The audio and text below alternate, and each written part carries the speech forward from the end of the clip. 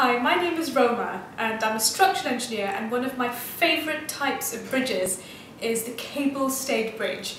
An example of which is the Millau Viaduct in France and another one is the lovely Northumbria University footbridge in Newcastle which was actually the first project that I ever worked on.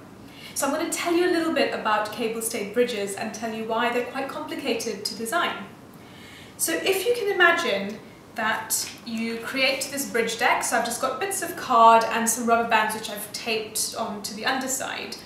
And I've created two different little models. So the first model I've got here has quite a soft deck, quite a flexible deck. And then I've got these rubber bands here which are like the cables for the bridge.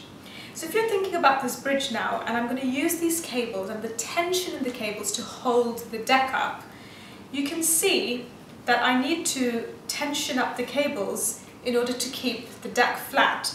And if the deck is too flexible, actually that's quite hard to do.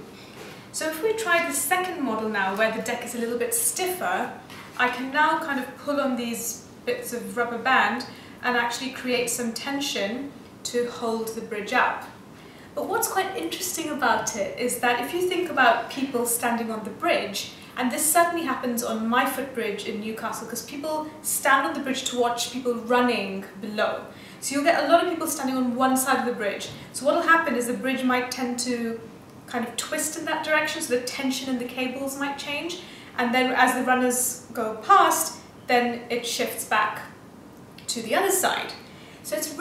Important as an engineer for me to understand how much tension each set of cables needs and to make sure that as people move back and forth, the cables never go slack like you can see there.